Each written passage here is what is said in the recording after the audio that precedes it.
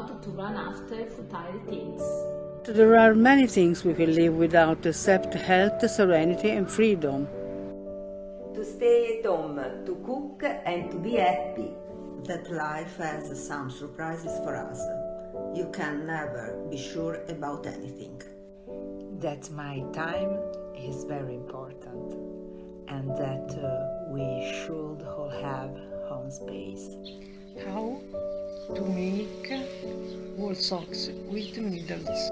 To organize my time in a better way and that my lovely life could change in a moment.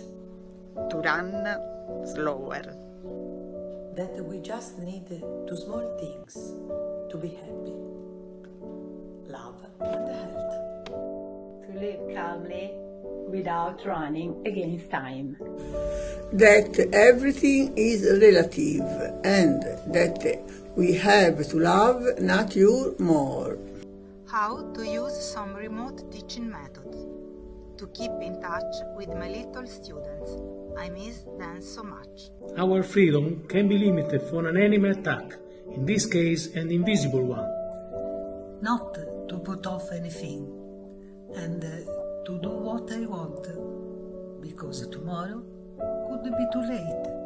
To have more courage and to spend more time with my dad to make him happy. To be afraid, but also not to be afraid if we do the right things. That we must declutter our priorities to achieve a better care for all human beings. That I don't really need a lot of people around me. That I am not afraid to die, but uh, I am afraid not to live. The importance of a small gesture like an embrace. That this virus is a warning of nature. We must respect nature and save the planet. Not to do all I could do today in order to have something to do tomorrow.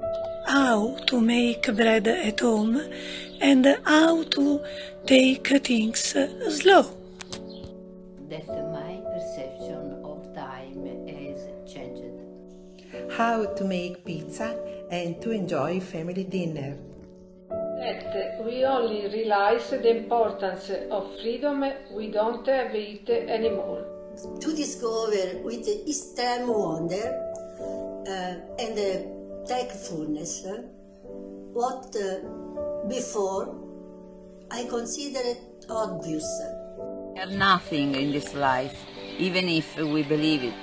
That life is become a bit complicated and not only a bit, but inside complication you can find yourself.